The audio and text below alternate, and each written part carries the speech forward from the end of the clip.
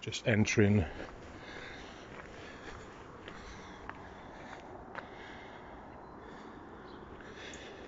See, the thing is, that says this is called Mountsteven Rec, which obviously I get because Mountsteven Avenue is on the other side.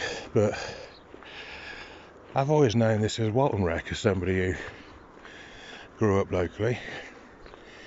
And I can genuinely say I never heard anyone refer to it as Mountsteven Rec. So over to you people who are older and more experienced to correct me and say, oh yeah, no, it was known as Mountsteven Rec for a long time.